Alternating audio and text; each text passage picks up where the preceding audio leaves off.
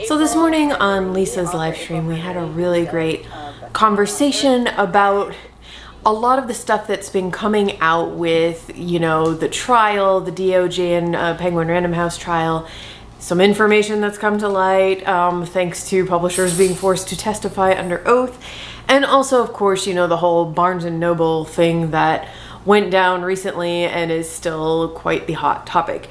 I am not, this is not going to be really a recap video. I just, I haven't had the time to do kind of like the deep dive research or anything like that. I will recommend, Jess Owens has been putting out some great videos about the DOJ trial that I will link down below. I made a video about the Barnes & Noble stuff last week. And, oh, actually, I did get a comment from a Barnes & Noble bookseller I wanted to share with you guys. Uh, she said, um, I work at a bookseller at my local B&N. While they didn't make a public statement, they did address the controversy, not really, to us as booksellers. I can't quote it to you verbatim, but essentially it told booksellers to post if we want to on our local socials, but not to feel pressured if our pages are seeing some of the backlash made it clear they won't be releasing a public statement, and they said the conversation was, quote, too nuanced for social media. Everyone can make of that what they will. But first of all, thank you, Aaron, for uh, letting me know. That was really interesting. And I'm not gonna fully unpack all of that, but I will say I find it hilarious that Barnes & Noble said the conversation is too nuanced for social media, but also made it clear that they are just not going to write a statement in which they could have as much nuance as they want. So I don't know, yeah, like Aaron said, make of that what you will. Then recently there was this tweet that really kind of went viral in our little publishing author reader part of the internet. And we did talk about that on Lisa's live stream today. And it said, out of about 58,000 trade titles published in a year, half sell fewer than a dozen books. Um, and Again, I'm not doing the deep dive research into this. I, I, don't even remember exactly what the source was on it. I will try to look up what I can and link to it down below. But I will say this, even though the tweet doesn't say new titles, I think a lot of people read that and just assumed, oh my God, half of the books that come out that are brand new in a year sell less than a dozen titles. But of course, remember every year there are novels that were published years or even decades ago that are still getting printed. I mean, just as an example, my very first novel came out in 2014, sold a few thousand copies that year. Now it's probably selling less than a dozen per year. I mean, that, so like, take all of that with a grain of salt. What this video, though, is going to be about is the fact that combining the Barnes & Noble news and all of the information that came out during the trial, which again, not going to rehash it all, but the short, short, short version is that publishers were basically forced under oath to admit that they don't actually have a business plan or really understand how book selling works and acquiring and sales are all just kind of a big crapshoot. It's really, really great. Um, I'm seeing a lot of just kind of, I don't know how to say it, doom and gloom from authors both aspiring and published about why bother anymore. We should just try, traditional publishing is dead, blah, blah, blah. And of course the, the classic, you know, obviously you're an absolute idiot at this point if you want to be an author and you don't go with self-publishing. so I want to talk about all of that here the title of this video was 100% clickbait because, or not clickbait, but it was sarcastic. No traditional publishing is not dead.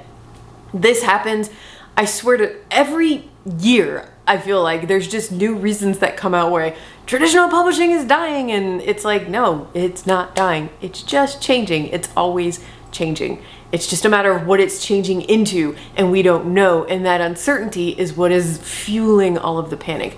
So what I want to do is I want to have a little chat with you if you are an author aspiring or published and you are feeling like I don't think this is the right path for me anymore. If you wanted traditional publishing and you're not sure whether or not you want to pursue that anymore, I'm not trying to talk you into it, but I just want to have like a little bit of a pep talk and a little bit of a reality check. So first up, I want to start with the DOJ trial. So again, not recapping it, but essentially what we learned is that major publishers don't really have any rhyme or reason on paper documented that they can show for how they make decisions in terms of acquisitions and sales. Like, it's just kind of the Wild West and always has been. And there were a lot of kind of eye popping statements like CEOs acknowledging that a solid mid list author is long term more profitable for a house, and yet admitting that they continually choose to throw ungodly amounts of money at a very small fraction of books,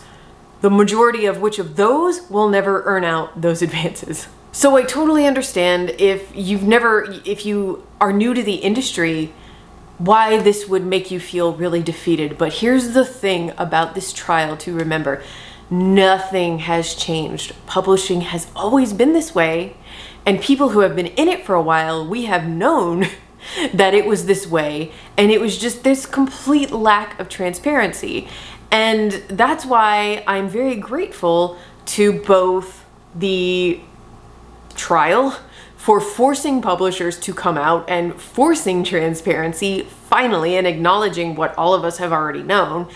And two, authors who have been year after year getting more vocal about speaking out against their own publishers and calling out things that are wrong and bringing all of this to light. Nothing has changed, it just got dragged into the light. And that's actually a great thing for you, especially if you're an aspiring author, because I have to tell you, I remember when I got my first book deal, I was in a debut group, a bunch of kidlit authors who were all had debut novels coming out in 2014.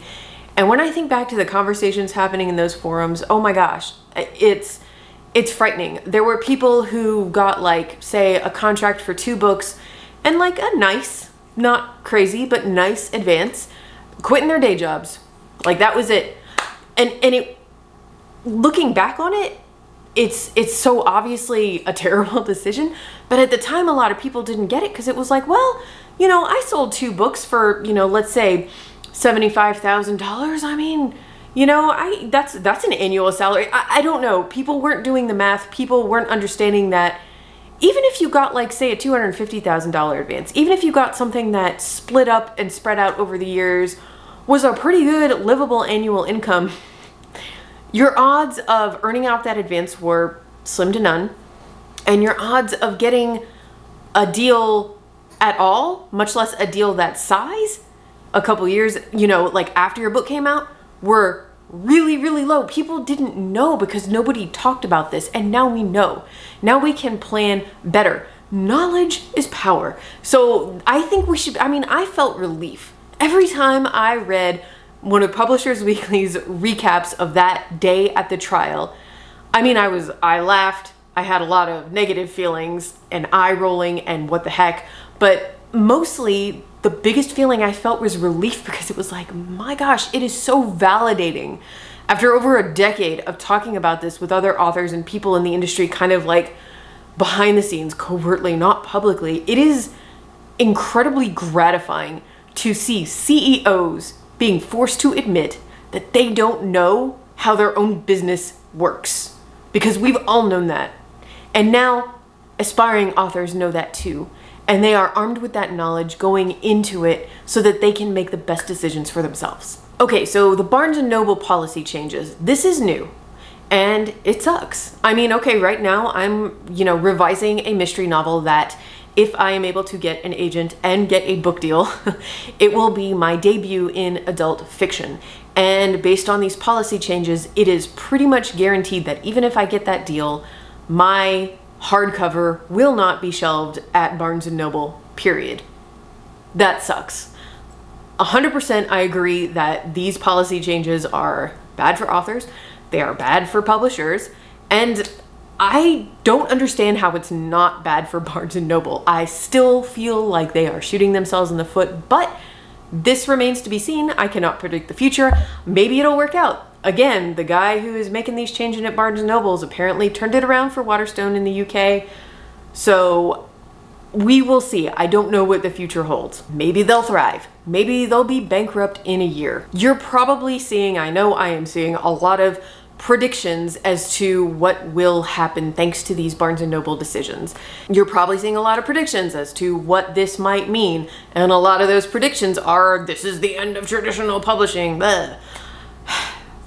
So when I was researching my Barnes & Noble video, I ended up reading a ton of articles about the closing of borders back in 2011 and other pieces about, you know, speculating on the next decade and what it would bring. Pieces on like NPR and the Washington Post, like all these news outlet outlets and it was like a there was a consensus that like the few things that we we could be pretty certain of were and I don't even remember all the reasons why, but apparently this was like conventional wisdom at the time was paperbacks were going to be dead in a decade, like dead. No paperbacks. Uh, ebooks would be by far the dominant um, like form of book in terms of sales numbers. Like way more than hardcover, anything else. Ebooks dominating everything.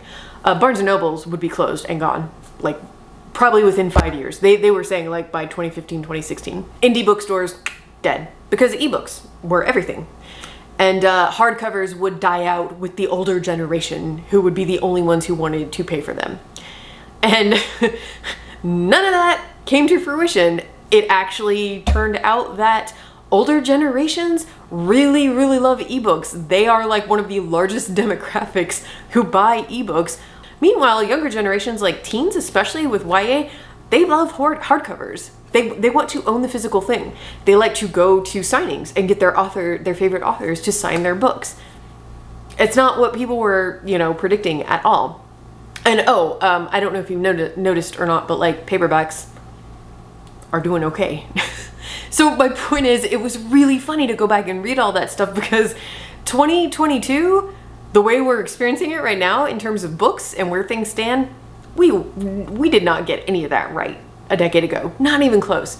So I feel like it's almost pointless to sit here and think, well, in 2032, you know, it's everybody's going to be it's going to be all self-publishing and you know penguin random house will surely be closed y'all those publishers aren't going anywhere it just there's no point in speculating because one we're probably going to get it wrong and two if we're going to speculate let's speculate in a in a positive way what if this decision that barnes noble made just leads to an absolute boom in indie bookstores. People shopping at indie bookstores, more indie bookstores opening. I'm going to imagine that indie sales are just going to keep rising as Barnes & Noble essentially takes itself out of the market for consumers looking for a brick and mortar book buying experiences, which is the one area Amazon has not been able to crack.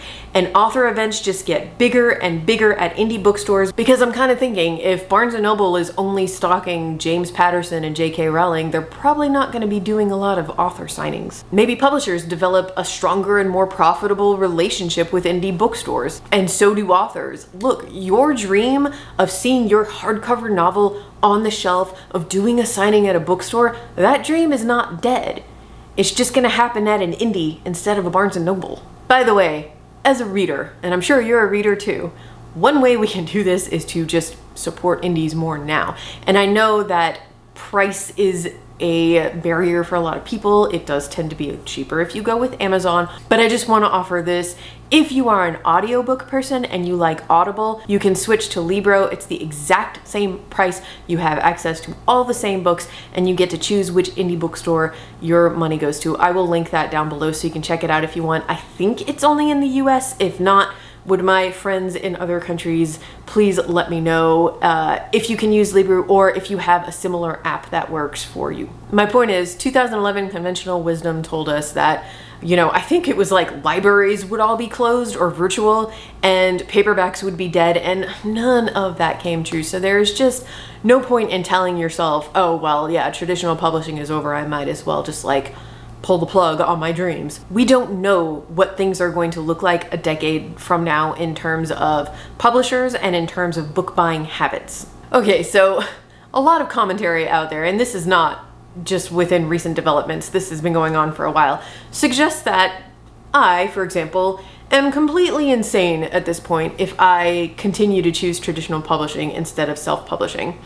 And something that has bothered me for a long time is that, okay, I do not have self-publishing experience. And I say that every time I make a video where I even breathe the word self-publishing.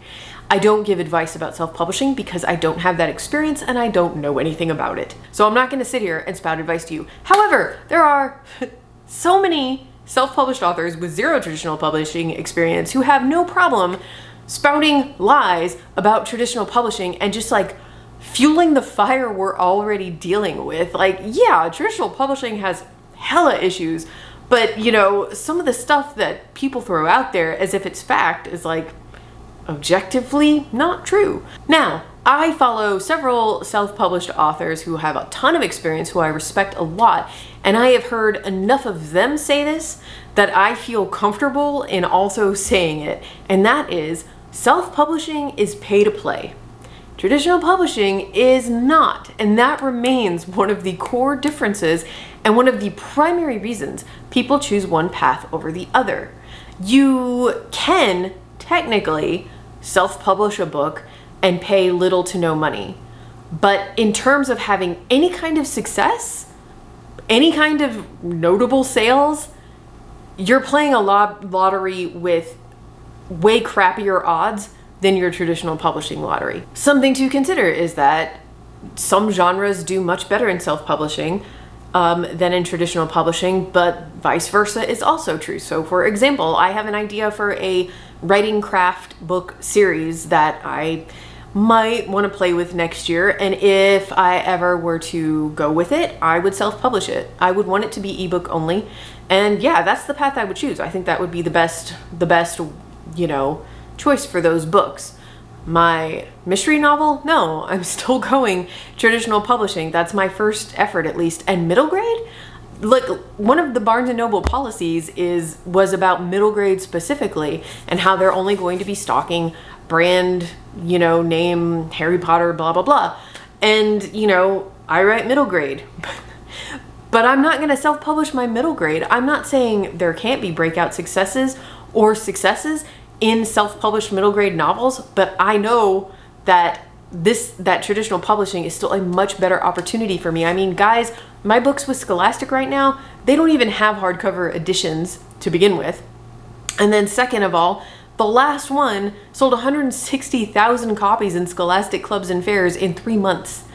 I am not going to reach that number of children self-publishing my book, especially at no cost to myself.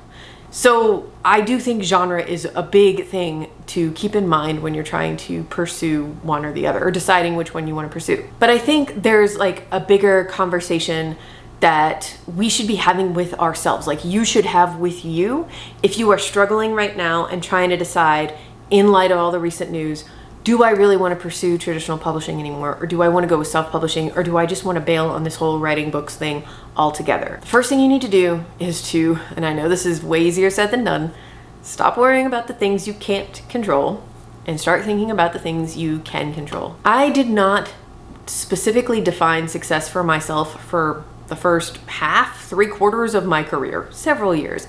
And that resulted in me relying on publishing to validate me, which led to the longest period of burnout I have experienced to date. So I'm going to give one specific example out of many, and this is a story I've told on this channel before, but I had a two book deal with Penguin Random House. This was for Olive and the Backstage Ghost and Spell and Spindle, and that contract included an option clause. An option clause means that the publisher gets the first look at like a proposal for your third novel. They get to consider it and either make an offer on it or reject it so that you can then go wide and submit it to other publishers. And obviously your sales data on your first two books are going to greatly influence whether or not they want your option.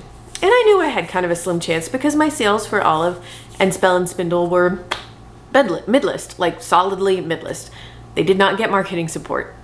So I put together a proposal and I loved my editor and she loved me and I sent it to her thinking at least it would go to acquisitions and we would see what would happen. But she came back and told me in the kindest way possible that she was really sorry, but they didn't even want to see the option because my sales were just, they were done with me.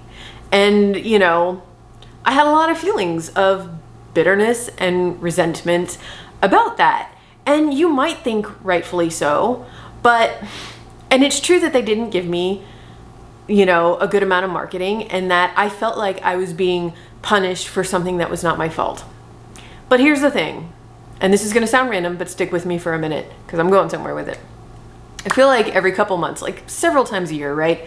There will be some celebrity or some politician who, and they have like a book deal, you know, with a major publisher, and then they do or say something publicly, and then one of the consequences of them doing or saying the thing results in their publisher canceling their book contract. And the next thing you know, they're all on the news and on social media whining about censorship. And first of all, a company deciding not to pay you money for the words that come out of your mouth is not censorship. and second of all, every time I listen to them, I'm like, my God, you are so entitled. Literally, no one, no human person is entitled to a book deal. And I'm sorry if that sounds harsh, but it's true. It's true of me. I was not entitled to a third book contract from Penguin Random House because I wrote two. It, do, it doesn't matter. It wouldn't matter if it was the most brilliant book I had ever read in my life or written in my life. It wouldn't matter if Olive and Spell and Spindle had sold wildly well. You know, it wouldn't matter. I'm not entitled to that. They're a company. They can do whatever they want and I can gripe about them all I want, but the fact is, you know, I was not, it was not my right to have them publish my next book. And I am constantly reminding myself of that to just kind of like keep that entitlement in check because I don't like how entitlement feels. It just doesn't feel good. I get to define success for me and my books and my career. And that's the only way I am ever going to be happy. So that's really what I want you to take away from this. I think you should start, if you're struggling right now, I think you should start by getting really specific and defining what success would look like for you and your books and your career. What sales figures would you like to see? Is hardcover really important to you? Is being in indie bookstores really important to you? Is having the name of a major publisher on the spine of your book really important to you? Is that part of success for you or not? I think you should go for both like realistic definitions of success, but also dream big definitions of success. There's nothing wrong with dreaming big. And also remember, there's no right or wrong answer here. You might realize that some things aren't that important to you and other things really, really are, and that's what you want to focus on. And then you use that, you use your own specific definitions of success to decide which path is right for you. And the great thing is you have so much more solid information, hard facts about both traditional publishing and self-publishing right now, more so than you ever, any author has ever had ever in history. We don't know what's going to happen next, so why not choose to believe this is the beginning of an indie renaissance and something just totally new and exciting for authors and readers. And most importantly, if you're feeling really down right now, but you still have that passion for writing and you love your story, just remember the only way to guarantee your book will never be published is if you quit writing. So I really hope you keep writing your story.